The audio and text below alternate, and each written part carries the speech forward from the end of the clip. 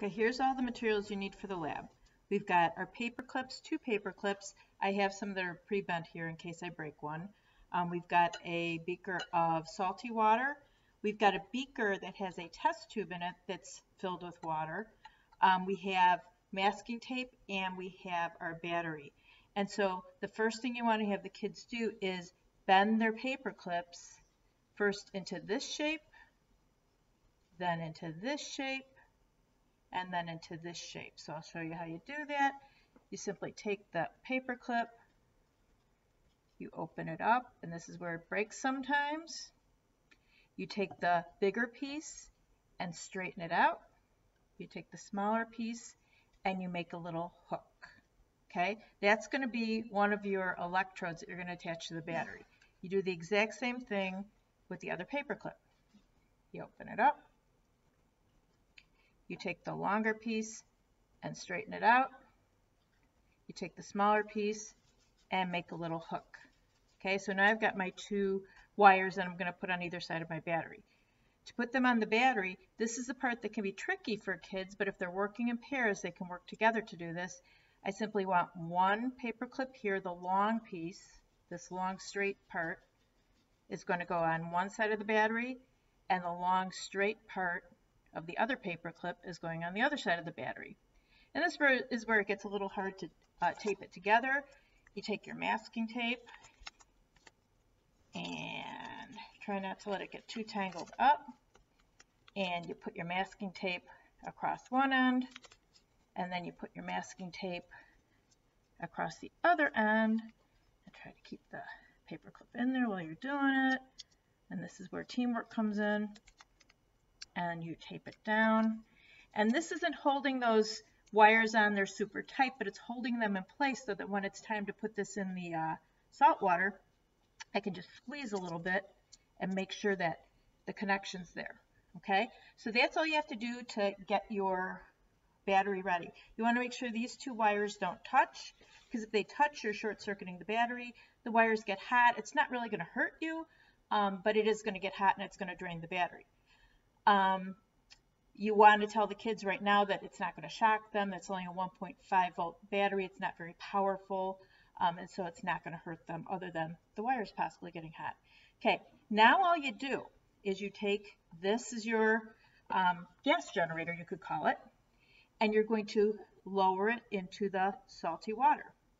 And so my two hooks are totally submerged. And this part, I'm not sure if I can get a shot of it for you. But one of these is already bubbling. The one closest, if you can see it through the glass there, the one closest to the camera is already bubbling a lot, while the one that's furthest from the camera and that's why you don't really have to give the kids, you don't have to say, hey, is it bubbling? All they have to do is watch for a few seconds or they're going to see it bubbling. The one that's bubbling a lot with tiny bubbles is the hydrogen. The one that isn't bubbling yet, but it will eventually bubble, is going to be the oxygen. Now the hard part to explain, but it's easier to demonstrate, is getting the um, test tube on there to collect the hydrogen. So all you need is a test tube that's filled with water. It doesn't have to be sitting in anything special. It just has to be filled with water. You put your thumb over the top of the test tube and then you have to get your thumb into the water with the test tube without letting any air get in there. Okay? I'll do that one more time. So I've got my test tube and it's full of water. I cover it with my thumb and then I invert the whole thing and then I have to put my whole hand under the water so that I can get the now the top of the test tube, which is at the bottom, under the water. And now I simply want to, I've got my two wires touching, so it's getting hot. Um, now I simply want to navigate that while it's still underwater over that hook that's producing all the hydrogen. So now I've got, and if you can see it from the side, I simply put my test tube right on top of there. There's nothing but water in this test tube right now. And it's over the hook that's giving off all those bubbles. And so those bubbles, a lot of them are going into this test tube. Now those are teeny tiny bubbles and you're not going to collect a whole lot of hydrogen real quick. But now is when you ask the kids the questions. Now is when you ask them, hey, looking at this model of how water splits into hydrogen and oxygen, notice that there's two smaller hydrogen molecules that are formed and one larger oxygen molecule that's formed. How does that relate to these bubbles coming off of here? And that's exactly what it looks like. There's smaller hydrogen bubbles coming off, and there's a few, you can barely see them, there's a few larger oxygen bubbles coming off the other wire. Um, and so it kind of makes sense that if I'm making a whole bunch of hydrogens, they're coming off there right away. The oxygen are coming off the other end, plus some of the oxygen is actually oxidizing, it's rusting part of my wire. Um, so some of it's being used up in other ways. Anyway, that's the whole lab. Once, you're done, you simply navigate so that your gas generator is out from under the test tube. You take it out, you set it down, you make sure those wires aren't touching, because if they touch, they just get hot. You're just using up the battery.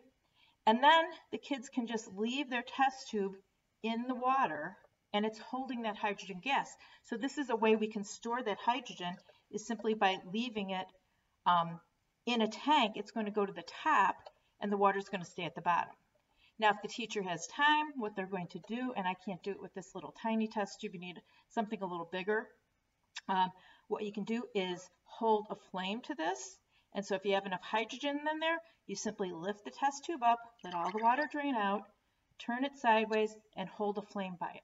And if there's enough hydrogen in there, in there, you'll get a little poof. Sometimes it takes a bunch of tries to get enough hydrogen in there to get that little poof, but that's part of the fun. You do the experiment over and over again until you get it to work. So I know you're probably not going to use all of this, um, but at least you know it's, it's really not that hard. The kids can do it. I've done it with all the way down to really second and third graders. Um, they have more trouble with getting the tape on the battery than anything else. But once it's set up, they can do it. Um, older kids have no problem doing it at all, and older kids actually usually find a way to rig this up so they don't have to hold the battery anymore. Um, younger kids, though, enjoy holding the battery the entire time that it's creating oxygen. Anyway, nice talking to you. It's Peggy. Talk to you later.